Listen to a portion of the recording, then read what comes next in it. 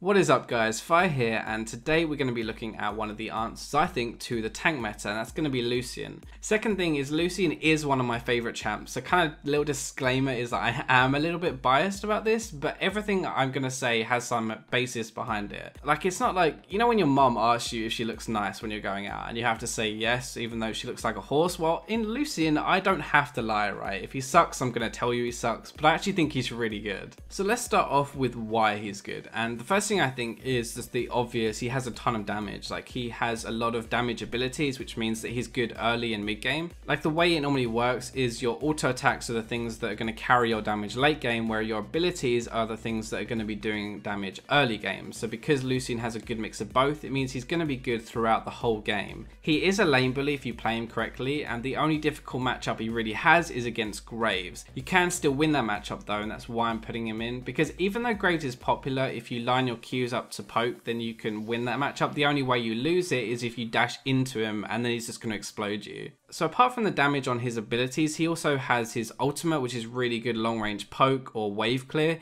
He has his dash, which is really good for kiting. And because it's such a low cooldown, you don't really need any peel in team fights. You can kind of look after yourself, which is really important for solo queue. Now the reason I'm using Lucian in this example for the answer to the tank meta or at least one answer to it is because of the build and it's a very specific build that I've been using and testing out. So the reason it's so good is kind of because of what the enemies are building, like they're building Cinderhulk, which is health, they're building these Warmogs all the time, they're building MR items, which all have health attached to them as well. So they have a butt ton of health, and the other thing they're going to be building against you is obviously armor, and that armor can be countered kind of by the last whisper that you'll pick up at some point.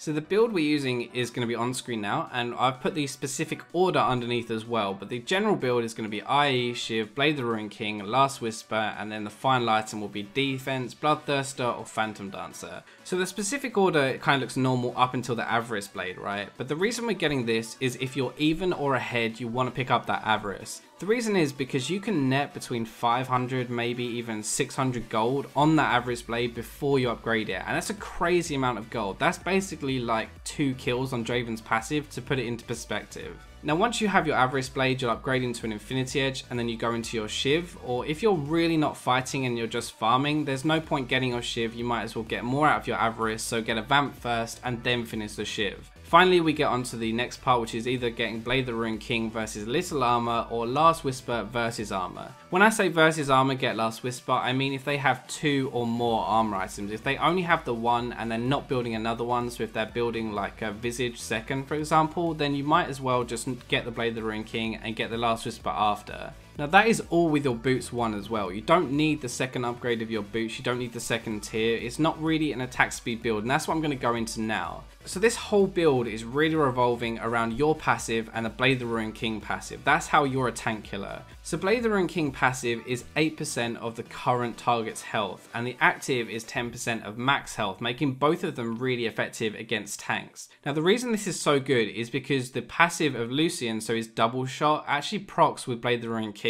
So you can get like 7 auto attacks in the space of like 3 seconds with your passive and that means you're going to get 7 procs of your Blade the Ruined King and it absolutely shreds tanks. To pull this off in game, you're going to auto attack and then reset that with your Q. Then you get your passive shots, you use your W, you get passive shots again, and then use your E and you get your passive shots again. So that is 7 procs in like 3 seconds, and that is a ton of damage. When you combine that with your crits and the fact that your Shiv proc can crit as well, you have crits and Blade the Ruined King passive and you're shredding people. So that is pretty much why Lucian is such a god right now. Blade the Ruined King is really effective in this meta and it's really effective against the current tanks. The masteries and runes that I run on Lucian are on screen now in case you actually want to go into game and you're not sure what to use. I'm just going to talk about one of the biggest weaknesses that this build actually comes up against. The biggest weakness is this Thornmail and the Grump Smite. Like that is really hard to deal with with this build. The biggest reason why this build struggles is because Blade the Ruined King only has 10% lifesteal, which is half of the Bloodthirster. So you're only healing half as much as you would have, and basically lifesteal is kind of the way to counter Thornmail, because while the damage comes into you, you heal it back up. The eventual counter to Thornmail though in this build is going to be for your last item to be a Bloodthirster. So you get double life steal and last whisper and you will absolutely ruin these tanks. And it's not just Lucian, okay? This build works really well on every AD carry right now. This is probably one of the best builds to go right now if you're against super tanks and you can't get through them. The reason I made this video about Lucian though is because you're getting these double procs of your passive on the Blade of the Ruined King passive. So you're kind of twice as effective as using the Blade of the Ruined King as every other AD carry. So this is a very specific video and I hope you guys enjoyed it. It's a bit different from what I normally do, but I wanted to share with you what I've been testing to try and get through the tank meta. And I know a lot of you have been really frustrated, like tweeting me, Facebook messaging me, asking me how to deal with tanks. Well, this is the best way I have found to deal with tanks so far. This is a really good build. I suggest you try it out. It's a lot of fun and I'll catch you in my next video.